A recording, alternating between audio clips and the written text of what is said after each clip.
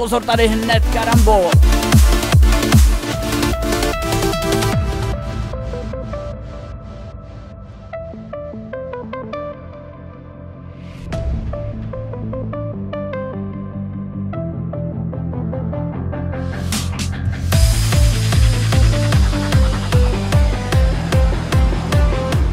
Pro nás tady vidíme teď do smyku se dostane uh, do staršího Martinka.